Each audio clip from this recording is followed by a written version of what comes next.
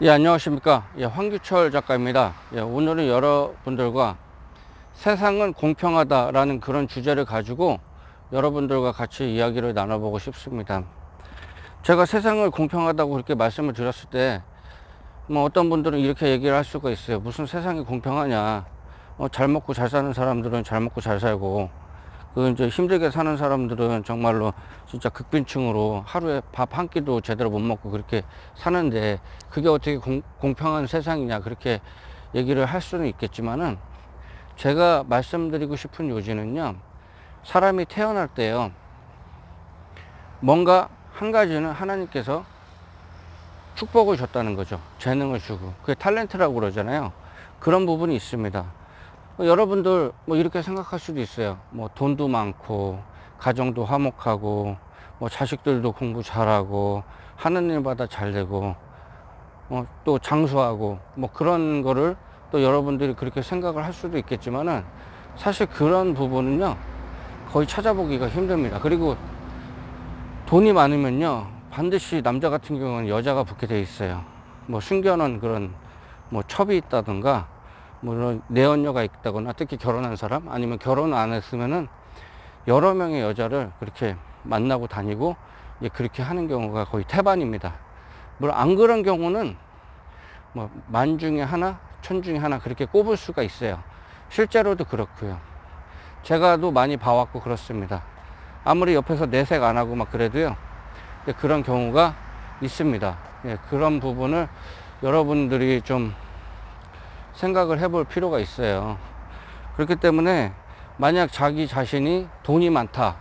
그러면은 돈이 많은 대신에 뭔가 하나가 문제가 있을 수가 있습니다. 뭐 예를 들어 가지고 뭐 자식 복이 없다거나 아니면은 이제 부부 간에 이제 불화가 있거나 건강이 안 좋거나 뭔가 하나가 지금 계속 자기의 신경을 건드리는 그런 부분이 있어요.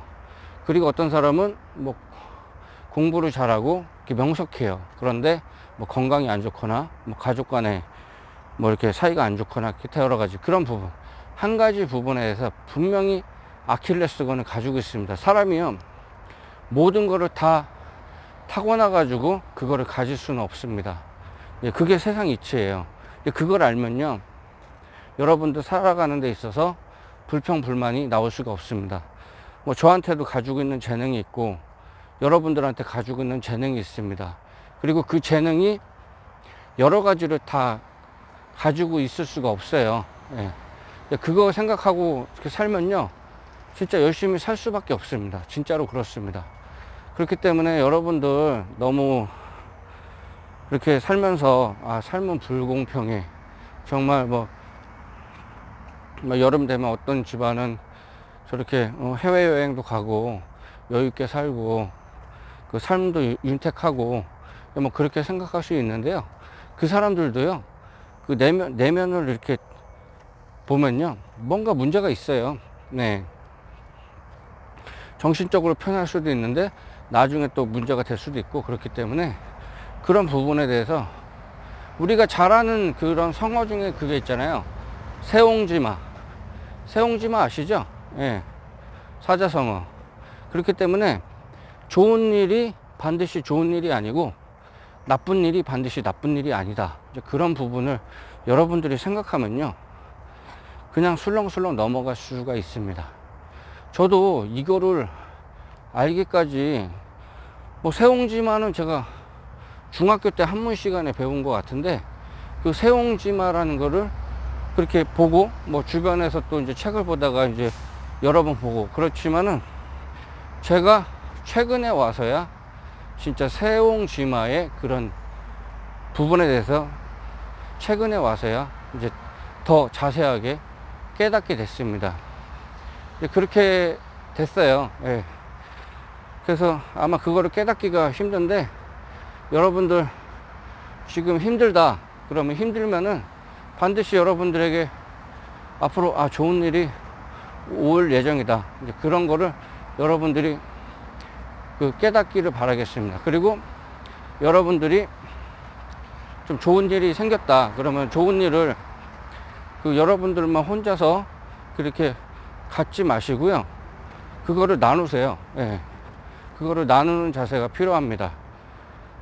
그거를 주변하고 이제 같이 이제 공유를 하는 거죠.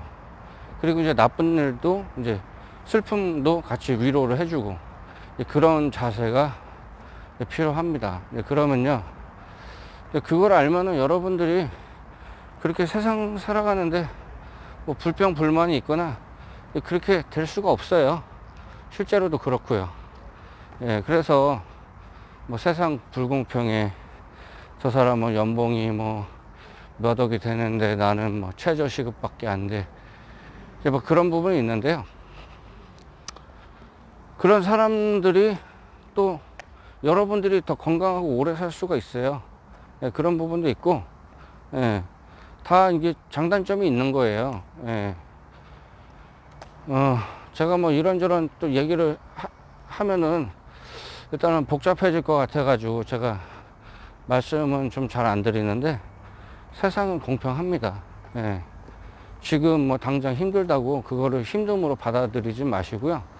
하늘이요, 사람들한테 어, 자기 자신한테 복 주려고 그러면요, 반드시 그 고난을 줍니다. 고난이 축복이에요. 예. 고난을 주고서 그 다음에 그 축복을 줍니다. 예, 그거는 확실해요.